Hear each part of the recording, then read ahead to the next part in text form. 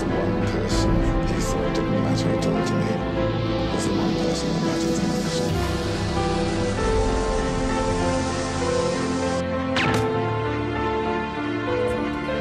We're losing you.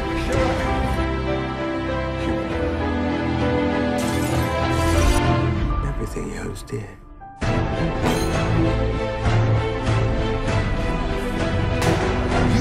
Interesting, that soldier fellow.